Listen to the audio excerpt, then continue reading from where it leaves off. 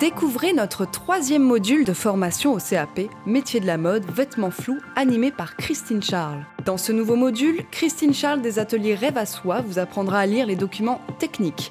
Elle commencera par décortiquer le système d'évaluation de l'épreuve EP2, puis détaillera avec vous la partie cahier des charges du sujet. Enfin, vous apprendrez à lire correctement le dossier technique qui vous sera fourni lors de l'épreuve. La nomenclature, les schémas techniques de précision en coupe ou l'échelle d'un dessin n'auront plus de secret pour vous. Christine Charles s'appuiera sans cesse sur le référentiel officiel et les annales de l'examen et imagera systématiquement son propos par des pièces d'études et des illustrations techniques.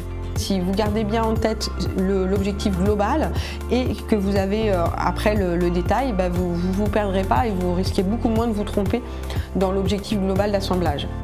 Envie de relever le défi du CAP Lancez-vous avec Christine. Une fois acheté, ce module et les documents qui l'accompagnent sont accessibles sans limite de temps pour vous permettre de progresser à votre rythme.